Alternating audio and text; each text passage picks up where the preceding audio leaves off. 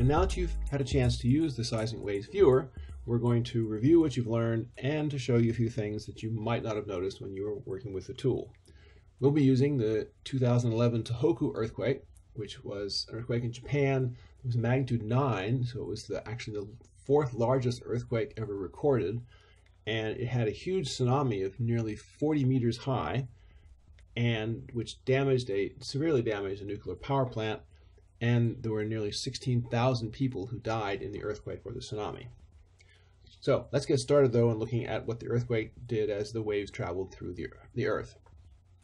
So as you probably remember, the waves we're going to look at, the P waves are, are shown with red lines, the S waves are shown with blue lines, the surface waves are shown with yellow lines, and our recording stations, our seismographs, are shown as, as red triangles. So let's go ahead and start things up looking at the surface. So there's our earthquake, and as soon as things are starting moving, we're seeing our P wave out here in front, followed by the S wave, and you'll see as the P wave gets further and further away from the earthquake, the distance between the P and the S wave, so that, which means the time between the P and the S wave, gets further and further apart as well. And then behind the S waves, you're seeing the surface waves. So now we're going further and further. We're seeing how far the P waves have gone. There's the S waves. There's our surface waves. Let's pause it for a minute.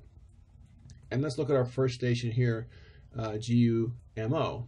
If we go over here, we'll see the P wave came in first followed by the S wave, which is just arriving right now. If we want to go look at the first Earth, the first station, we can go and look at the other side the Earth. Let's look over here. And we'll say here that the station MAJO was very close to the earthquake. So really the P and the S waves were almost the same time. But now let's go back. So we'll go back over to the side we're looking at. And so now let's keep watching a little further and see what happens.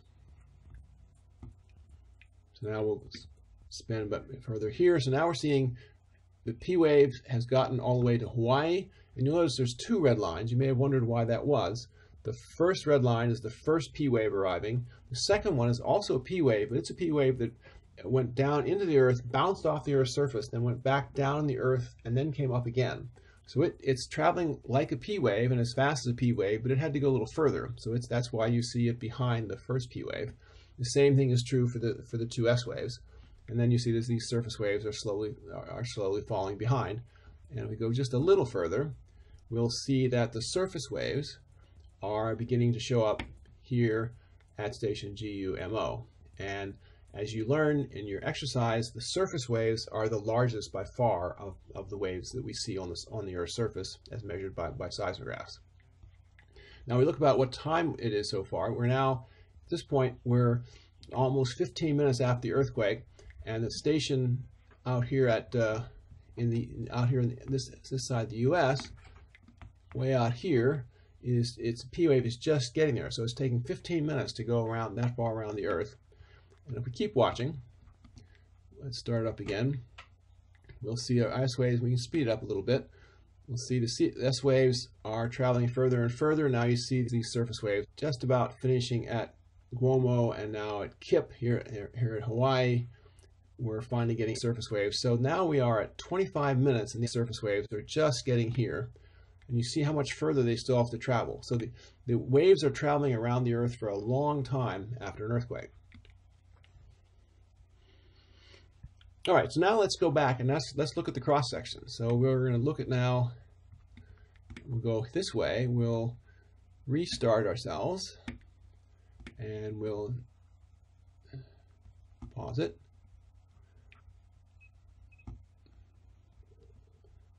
Okay, let's pause. There we go. So now we're going to look at cross section now. And so once again, we're seeing the earthquake was here, right near, pretty near the surface, and the P wave is out in front, followed by the S wave. And what we're going to also do here for the first time is we're going to make it a little simpler. We're not going to show all the waves. So we're going to start again.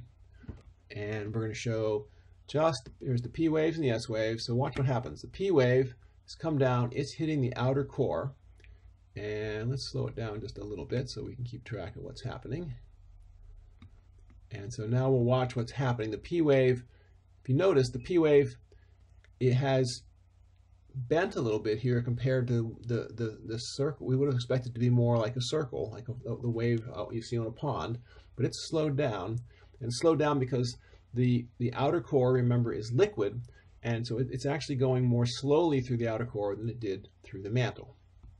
And now we, and we see the S wave behind, and let's keep watching and see what happens when the S wave hits the surface, the, the surface of the outer core. What we see is the S wave doesn't go through the outer core. And so as you would have been figure, figured out when you did the exercise, that because the outer core is liquid, the S waves, the shear waves, couldn't go through this liquid. And so the, those waves only are traveling around sort of on the sides through the mantle, but the S waves don't get to go through the outer core or the inner core. Whereas you can see the P wave is still traveling right through, the P wave is still traveling on through and you see it's all already now down to the getting almost through to the other side of the core. And it would keep going if we watch it it's going to keep going and that wave will come out of the outer core and in, into the mantle and come all the way to the edge. Okay so now let's turn on all the waves that travel through the earth you've been looking at the major ones. Those are the ones that hit the outer core. But there are a lot more when you consider all the different combinations of waves traveling through the earth and bouncing off of layers. So what we're going to do here is we are going to go to turn on all the waves and we'll back it up. And let's watch what happens. Slow it down a little bit. So you saw this before where the P wave hit the outer core, but notice now we're including bounces. So just like waves on the water can bounce into a rock and you can see waves bouncing back, when waves hit a boundary in the earth, they can also bounce back.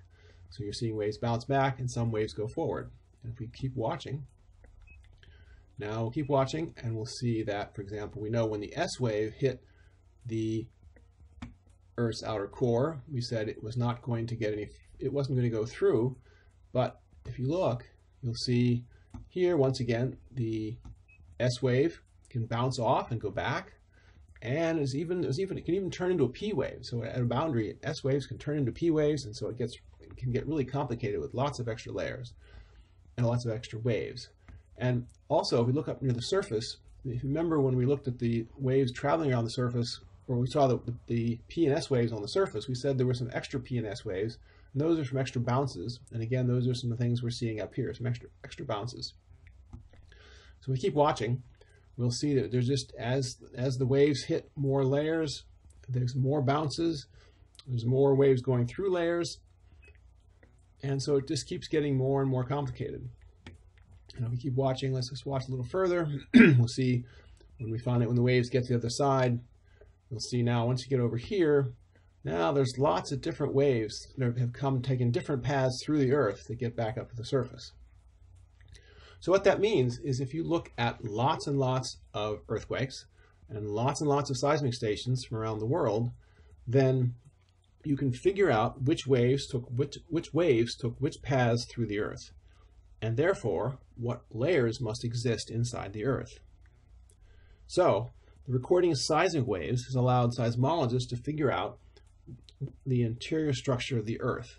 It's just by, we can't go into the earth, but by looking at the waves that we can record on the Earth's surface, we can figure out what paths those waves took through the Earth and what the structure of the Earth must be like such that the waves got to where they did at certain times.